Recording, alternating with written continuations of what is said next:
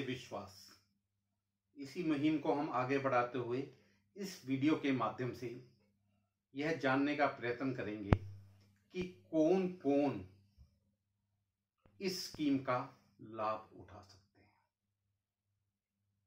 कौन लोग इस स्कीम को ऑप्ट कर सकते हैं? कौन लोग इस स्कीम की दायरे में नहीं आते? तो आज इस वीडियो के माध्यम से हम ये जानने का प्रयत्न करेंगे कि हु इज़ एपिलेंट एज पर tax Vivad se Vishwas act 2020 appellant is defined in section two sub clause one section two subsection one it define appellant as a person. That means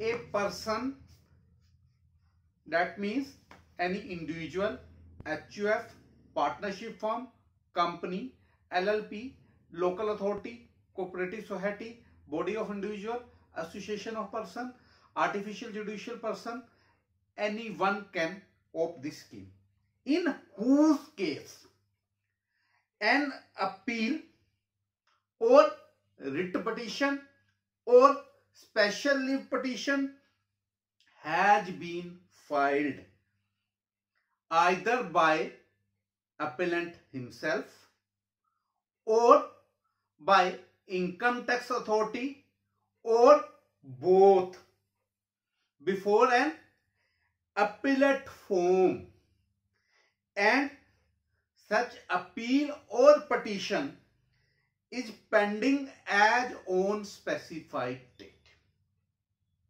And specified date in this case is 31st January 2020.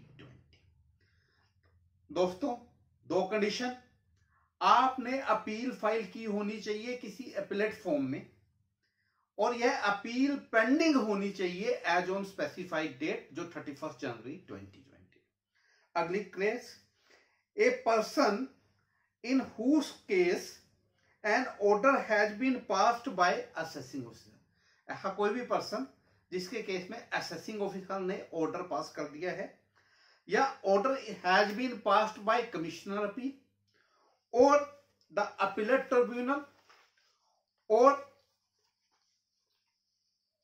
by the high court in a writ petition on or before the specified date.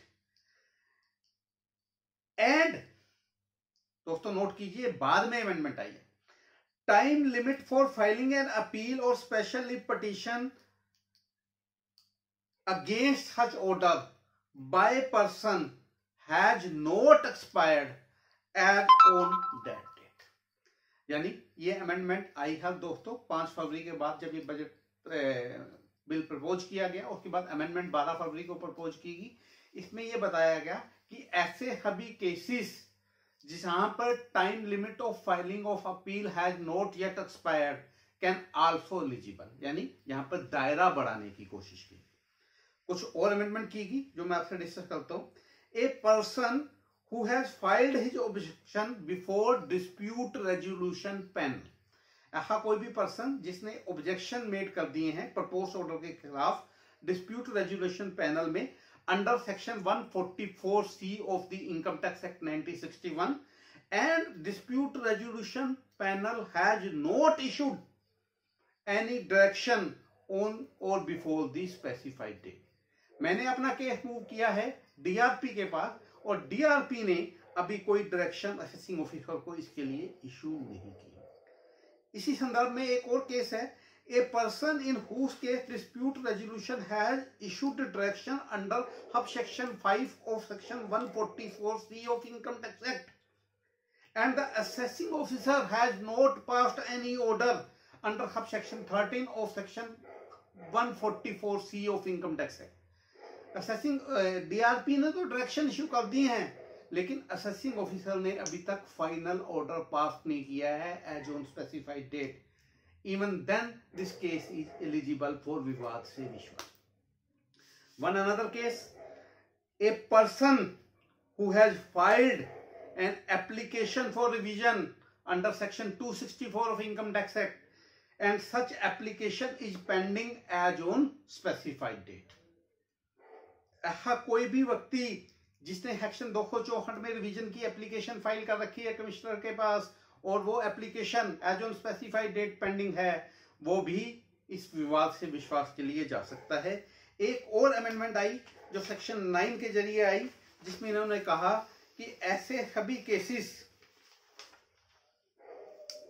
ऐसे सभी cases जिनमें search initiate हुई हुई है under section 132 और 132 A और disputed tax five crore rupees से exceed नहीं यानी ऐसे सर्च केसेस जहाँ पर डिस्प्यूटेड टैक्स का अमाउंट पाँच करोड़ रुपए से ज़्यादा नहीं है, वो केसेस भी विवाद से विश्वास के लिए अब एलिजिबल हैं अमेंडेड एक्ट आने के बाद। परंतु यहाँ पर मैं बात बताना चाहूँगा, जो ओरिजिनल एक्ट आया है, उसका सेक्शन नाइन कहता है कि डिस्प्यूटेड टैक्स पाँच करोड़ रुपए से ज़्यादा नहीं चाहिए लेकिन डिपार्टमेंट ने जो फैक इशू किए हैं चार मार्च को, पचपन क्वेश्चन का जो सेट आया है, उस पर उन्होंने क्लैरिफाई किया है सर्च केसेस के केस में ये पाँच करोड़ की जो लिमिट तय की गई है, वो टोटल ना होकर पर असेसमेंट ईयर है। यदि किसी एसएससी की सात साल के लिए सर्च हुई और सात सालों के लिए अलग अलग एडिशन हुई है तो उसमें चार साल ऐसे हैं जिनमें पाँच करोड़ से ज़्यादा अमाउंट है और तीन साल ऐसे हैं जिनमें पाँच करोड़ से कम अमाउंट है। तो उन तीनों असेसमेंट ईयर्स जिनमें पाँच करोड़ से कम अमाउंट की डिमांड है या डिस्प्यूटेड टैक्स है, वो सभी केसेस में वो पर्सन विवाद से विश्वास के लिए जा पाएगा।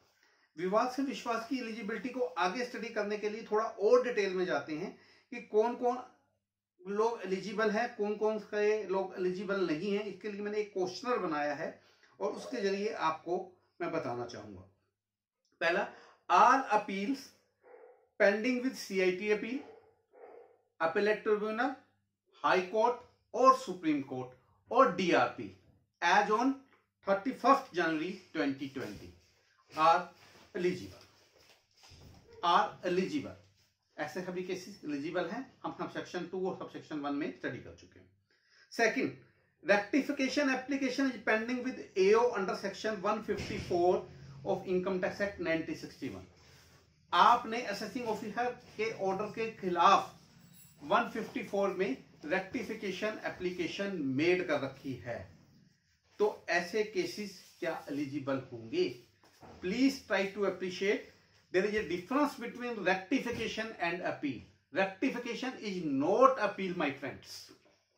Hence, if a rectification application is pending, this is not eligible for Vivad Se Vishwas. Come to the third circumstances. Order passed by the AO, say on 15 October 2019, but appeal has been filed with CIT appeal on 15 December, belated appeal, with the application of condonation of delay but condonation of delay is not heard by the CIT as on specified date. Can these cases are eligible? In my opinion and as per my understanding, in this case appeal is pending. Even the condonation of delay application has not been heard yet. You can file, you can file or opt vivad se vishwas in this case. Come to the situation number four. Appeal has been filed before the specified date with an application of condonation of delay and date of hearing of condoning delay has been fixed after the specified date say on 15th February. आपने application पहले file की हुई थी condonation of hearing की date लगी से 15 फरवरी और condonation application को रिजेक्ट कर दिया गया तो ऐसे केसेस में क्या अपील पेंडिंग थी मेरे हिसाब से यहाँ पर अपील पेंडिंग थी, क्योंकि आज के समय में अपील ऑनलाइन फ़ाइल होती है, फॉर्म नंबर 35 ऑनलाइन फ़ाइल होता है, और उसके में आपको एक्नोलेजमेंट नंबर फॉर्म सबमिट करते ही मिल जाता है, चाहे कंडोनेशन ऑफ़ हियरिंग की डेट लगी है या नहीं लगी है। लेकिन दोस्तों, मैं सीबीडीटी से रिक्वेस्ट करूँगा कि जब वो अगला फैक्ट लेके आए, इस बात को क्लैरिफाई करें कि अगर कंडोनेशन ऑफ़ डिले की एप्लीकेशन सीआईटी अपील द्वारा नकाल दी जाती है तो क्या वो केसेस एलिजिबल होंगे या नहीं होंगे? Still that as per my opinion and understanding it is allowed next revision application is to be filed under section 264 income tax act on specified date is to be filed. Assessee सोच रहा है कि दो में मेरे को revision application file कर देनी चाहिए, क्योंकि that order is prejudicial to the assessee prejudicial to the interest of assessee लेकिन रिवीजन एप्लीकेशन फ़ाइल करने का टाइम सेक्शन 264 में आपको पता है कि एक साल है।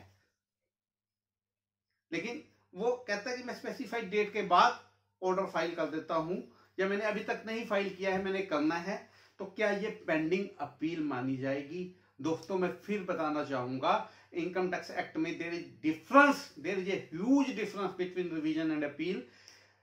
Revision cannot be said to be appeal hence the extended time period is applicable only for appeal the period where the time period for filing the appeal is not yet expired by the amended act is applicable only for appeals not to the revision.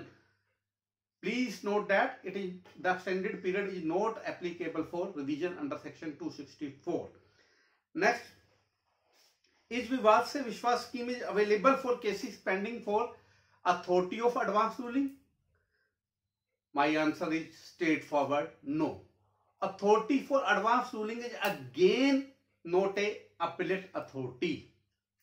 It is giving the his opinion for advance ruling. It is not deciding the quantum or any other thing. Hence, the all cases pending with the authority for advance ruling are not eligible for विवाद से विश्वास दोस्तों इस video के माध्यम से मैंने आपको कुछ सर्कमस्टांसिस बतानी चाहिए कि कौन लोग विवाद से विश्वास के लिए एलिजिबल हैं और कौन लोग विवाद से विश्वास के लिए एलिजिबल नहीं है। ऐसे कुछ लोग जो विवाद से विश्वास के लिए एलिजिबल नहीं है, ऐसे section nine of direct tax Vivad se Vishwas act 2020 में बताए गए हैं। उन लोगों के बारे में कौन कौन से लोग जो शुरू से ही इन एलिजिबल हैं, जो विवाद से विश्वास में जा ही नहीं सकते, वो हम अगले वीडियो के माध्यम से आपसे जानने का प्रयत्न करेंगे। मुझे उम्मीद है कि मेरे दोस्तों, आपको ये वीडियो बहुत अच्छा लगा होगा, आपके लिए ज्ञान बढ़ाने वाला रहा होगा।